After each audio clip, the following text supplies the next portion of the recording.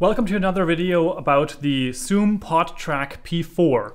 In this video, we are specifically talking about the PodTrak P4 and comparing it to the Zoom H5. The reason for this comparison is that this was my most recommended recorder for starting out podcasters up until now, and there are some great differences between these two recorders. However, there are still use cases for the Zoom H5 and also features that this recorder has which the PodTrak P4 does not. However, for podcasting, I think it's safe to say the probably better choice for you is going to be the Zoom PodTrak P4. Now, before we jump into the comparison, one quick disclaimer. The PodTrak P4 was sent to me by Sound Service GmbH in Germany. This is a loaner device. I am going to be sending this back once I am done making these videos. And these videos are not going to be shown to Sound Services GmbH or Zoom itself before they are going to be published. So these are my honest reviews and also comparisons. The Zoom H5 as well as the F6, which I'm using for the audio recording right now, because most of the time when you're navigating the menus, you can't record on these recorders. So that's the recorder I am going to be using. However, the F6 and the H5 are devices that I purchased with my own money for use in my studio and in my productions. Now, some of the very easy comparisons or differences between these two devices, and keep in mind they are made in A, two different times because the H5 was released years ago and the PodTrak is just now coming out. So there are differences because of this age difference, but there are also differences because of the target audience. Now, of course, the PodTrak P4 is aimed toward podcasters and has specific features which are only really needed in that realm. The H5, on the other hand, is more a handy recorder, that's what the H stands for, and for example, features a microphone capsule right on top of the device. This is something that the PodTrak, for example, does not feature, and you will always need a XLR microphone, like for example, in my case right here, I have the Shure Beta 57A hooked up to the PodTrak right now. So that's one of the key differences with this setup. With the H5, you have these capsules and you can also remove them and then you have this connector and that's actually really cool because that means that you actually have different kinds of capsules available to be attached to the Zoom H5 right at the top here and you also get a little gain knob right here. There are a plethora of different capsules available. There is a shotgun microphone, there's this XY configuration, and also there is a round capsule. And one of the more notable ones, which was interesting for podcasting specifically with the H5, is that there's also a capsule which provides two additional XLR inputs, which you have available at the top here once you have that capsule hooked up. However, that also makes the Zoom H5 more expensive to feature four XLR ports and the top capsule with the XLR inputs does not feature phantom power.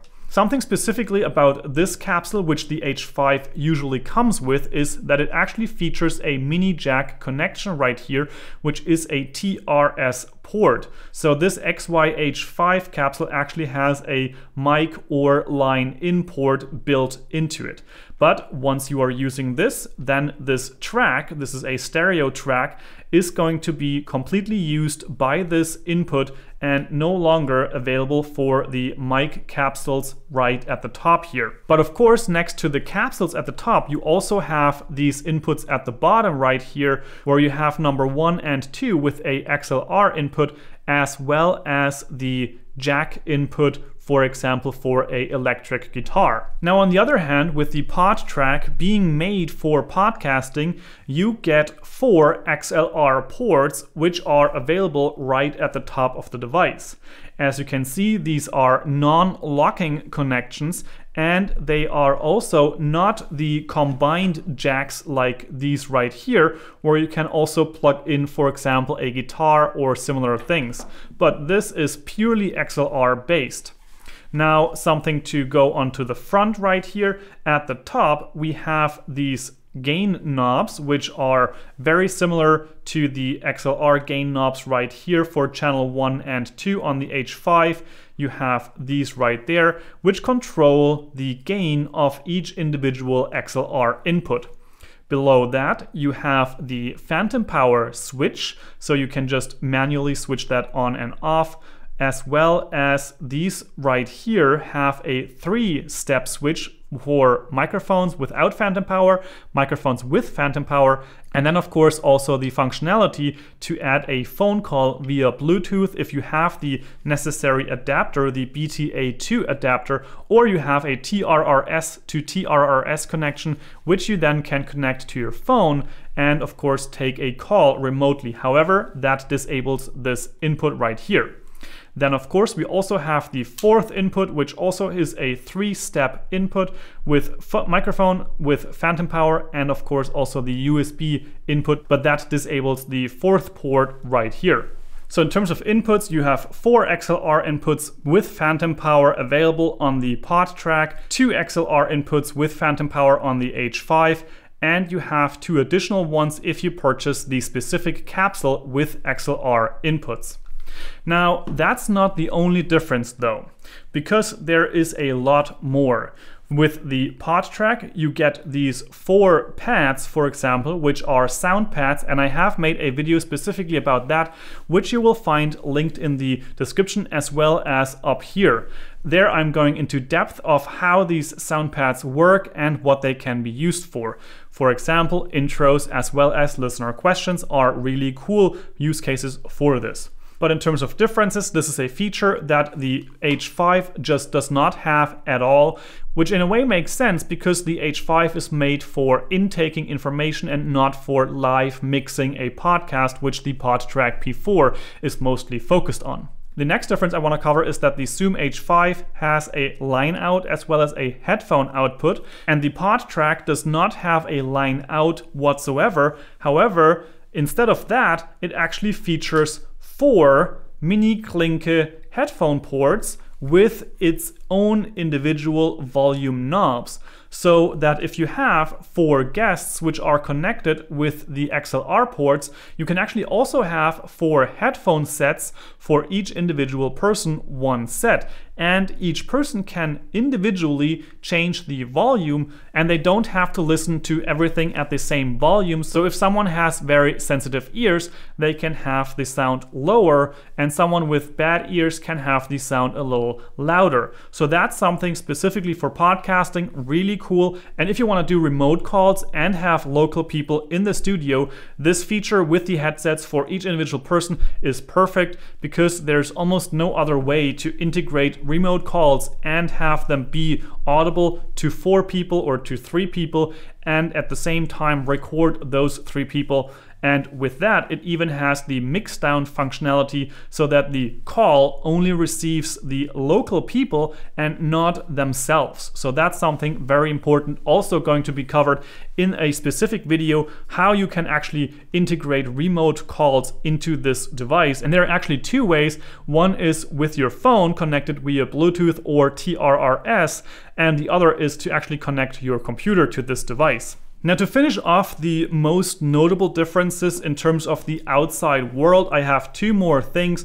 One is that the PodTrak P4 is actually connectable via USB-C and there are two USB-C ports on this device. One is just for power, so this is just for USB-C power delivery and the other one is for data as well as power. So if you hook this up to a computer, it will get power through this port if it's power delivery enabled and also be able to connect to your computer as a hardware interface or audio interface so that this also can be recorded on your computer or live streamed via your computer and at the same time record everything on the device itself. Additionally, you can also bring audio from your computer, like for example a Zoom call or a Skype call, onto this. However, then you are going to lose the third or the fourth XLR port and you will only be able to use three of the XLR ports at that time.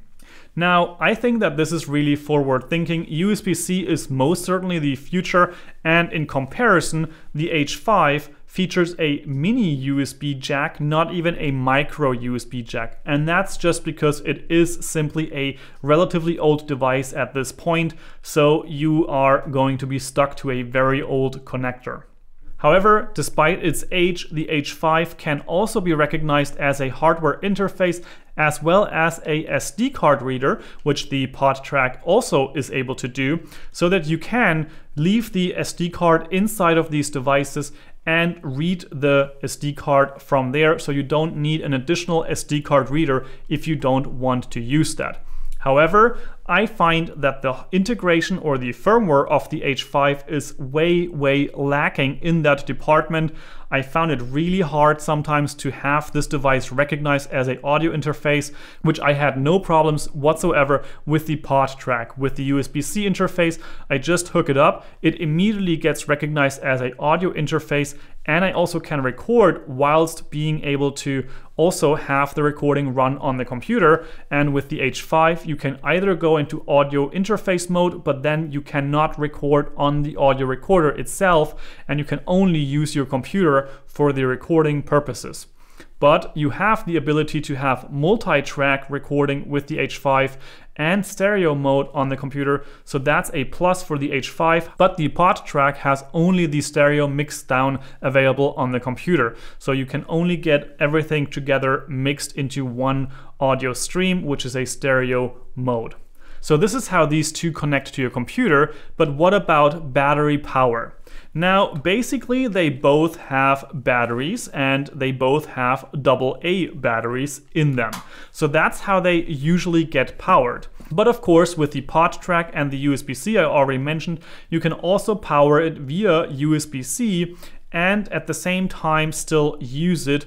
And it will just go back to, if I unplug this, it will just go back to the battery power without taking a sweat. So that's a really cool way of making sure that you don't have this device cut out in the middle of a recording by putting two AA batteries into the device and also having some kind of USB-C power delivery. For example, something like this battery brick that I have right here, which is also a USB-C battery brick. So that would work perfectly with this audio recorder and that's really cool. Now it does not quite work the same way with the H5. You have the mini USB port right here. This also supports the power delivery, but I also found my problems there and it was not quite as easy to use as the PodTrak with the USB-C on that front. Now at this point it's kind of unfair. The PodTrak is way newer so it will have USB-C where the H5 does not have that. But of course, it's also much more interesting for podcasters to use the PodTrak instead of the H5. Specifically with the four inputs, that's already the most important part for most podcasters at least. However, there are a couple of key differences between these two in terms of its internal features, its software capabilities and recording capabilities. Now the SD cards on the H5 cannot be as large as on the PodTrak. On the PodTrak you can put in up to 512 gigabytes of SD cards and that's kind of mind-blowing. Now on the other hand with the H5 you have SDHC cards and I think they're limited to something like 32 gigabytes or something like that. I have always used this with a 16 gigabyte card and it works great. And with audio and WAV files, you usually get plenty of record time with this type of card. Now, going into the menus, however, there is a very, very strong difference on these two recorders. And that is that overall, the menus on the PodTrak are easy to navigate with the different buttons that you have right here on the front, you also have a very easy way to navigate the menus on the H5 with this kind of like a uh, swing button or something like that. But the strongest difference right here is how much more configurability you have on the H5 that's actually kind of mind blowing. Now you can manage your files here and you can also go into the folder management right there with the H5, but it is much more elaborate on the H5 than on the PodTrak. But more importantly is what about, for example, mic settings? This here has a low cut and a limiter built in. The low cut can actually be turned on and off and the limiter can also be turned on and off. And this can actually be done for each individual microphone. So you can have a low cut on channel 1 and a limiter on channel 2 and both on channel 3. So that's really handy. But on the other side of the H5 in this case, you actually have way more capabilities. So you have a low cut and you can say if you want to have this on all of them and you can actually decide what the low cut should be. And you can also have a compressor or limiter, again, with different settings. So for example, you can have a general compressor or a vocal or a drum, or you have the limiter settings for general, concert, or studio. And with that, you also have the settings for phantom power. Now that's easier on the PodTrak with the switch at the top. And you have plug-in power also, which is for this little connector right here at the top. So you have more customizability for the limiter as well as compressor and low cut filter, but you will hear in a sound sample that I can put right here. Dig deep within yourself, for there is a fountain of goodness ever ready to flow if you will keep digging. Dig deep within yourself, for there is a fountain of goodness ever ready to flow if you will keep digging that basically the limiter on the H5 is completely useless and the sound out of the PodTrak is way, way better in that regard. So despite the customizations on the H5, the PodTrak definitely takes the cake in terms of sound quality. And that actually is very interesting because the next difference is something that the PodTrak doesn't even feature. There are just no settings for this, and that is the recording format. On this H5, which is years old, you can choose between 44.1 kHz 16-bit and 44.1 kHz 24-bit, as well as the 84 kHz in 16 or 24-bit. And of course, the highest in that one would be 48 kHz and 24-bit. Now the PodTrak, on the other hand, only has 44.1 kHz and 16-bit. Now there's the argument that this is very much enough for voice recording, for podcast recording. But I am now used to the F6, which I'm using for the recording right now, and that has 32 bit floating point audio, and I am used or have been used to 24 bit audio files from my H5.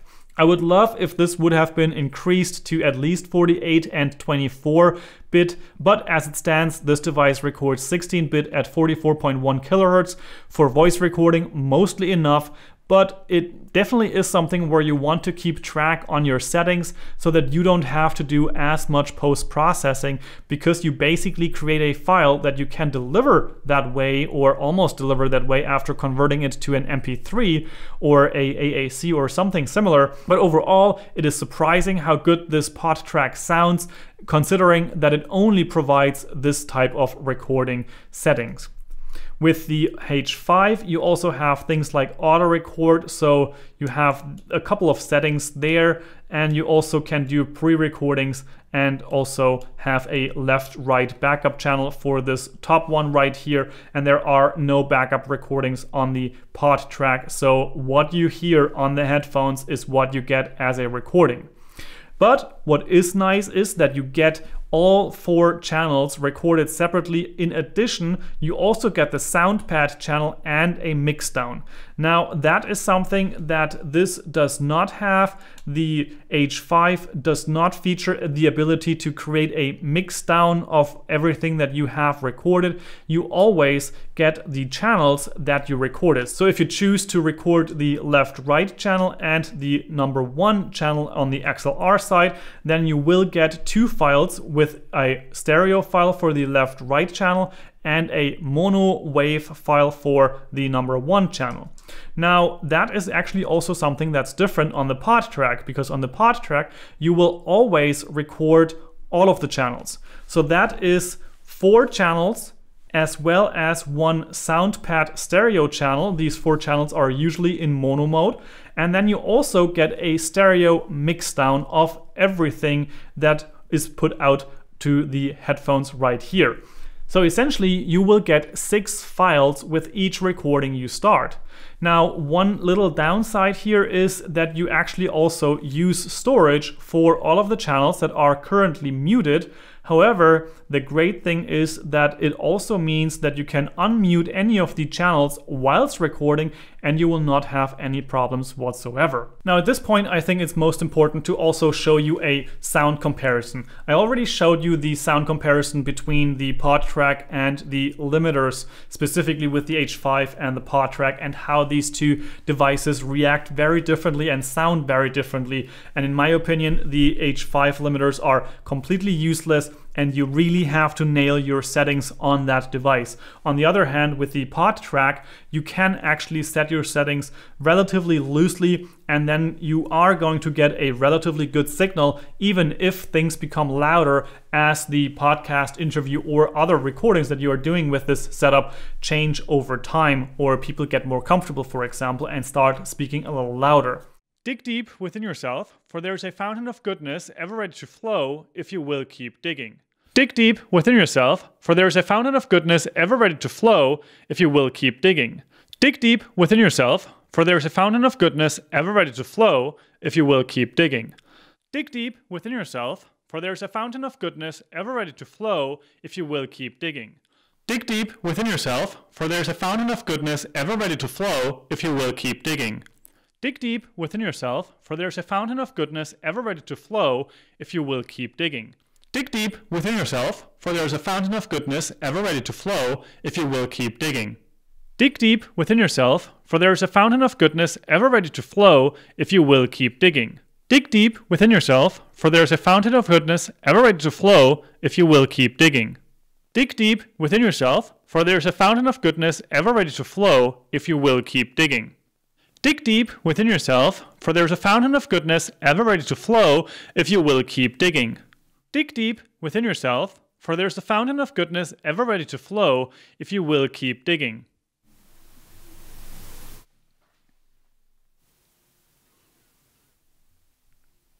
Now I have a couple more notable things. One is that the H5 actually comes with a nice travel box so that you can put it in there and it is nice and secure and you don't have to worry about any of the buttons being pushed or any of the knobs and dials breaking off or anything like that. This is something that the PodTrak does not come with and you will have to make sure yourself that you don't take off these knobs. However, I also don't really fear them going off anytime soon. They are really solidly built and I would comfortably put this into a backpack and just travel with that. Or you could have some type of a fabric bag or something that you can at least put it in with some of the cables. Maybe that would be an option there.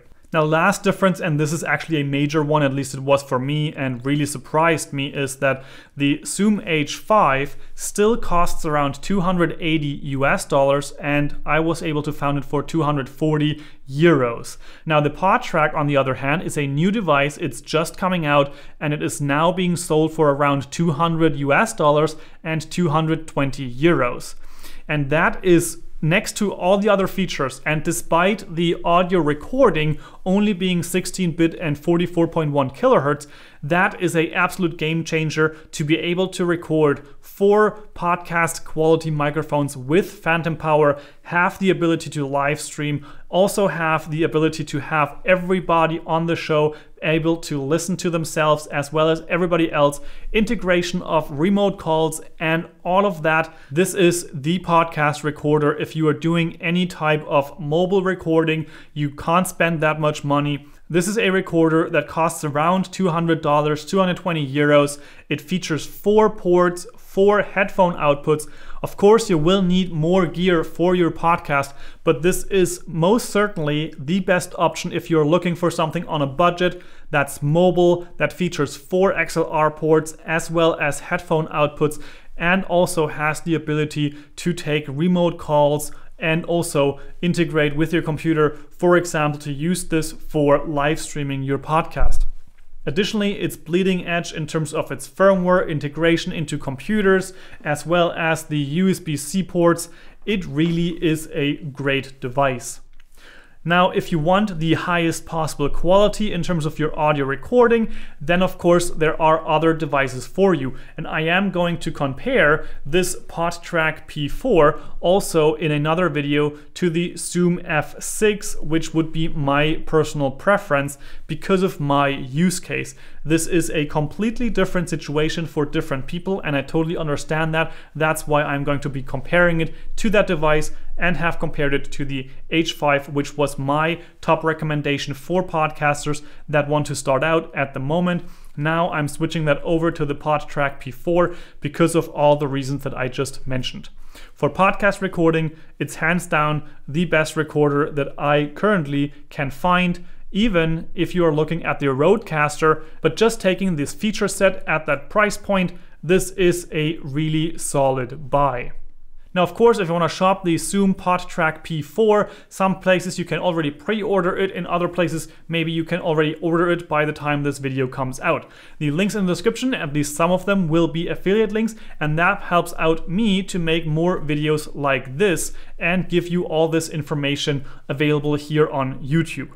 Now, if you have any questions about this PodTrak P4 or the H5 or the F6, please feel free to leave those in the comment section down below. Please also note that I am not the support for these companies, so I might just refer you to those places if I don't have any solutions. And I also will not have the PodTrak available to myself in a couple of weeks from now because I will be returning this unit to Sound Services GmbH, who were really nice to loan this out to me for these comparison videos and of course my review. Now, if this video was helpful for you, I would appreciate a thumbs up. That helps out a great deal with the YouTube algorithm and also helps others find these videos as well. Now, if you want to watch more videos, I have some on the screen right here about the PodTrak P4 and a playlist with other videos as well. I think that might be really interesting for you. And last but not least, subscribe to this channel to stay up to date with all the videos that I am creating here. And of course, hit the bell icon so that you are notified whenever I upload a new one. Now, with all of that said, make it your life, make it your podcast, and I will see you in the next video. Ciao, ciao.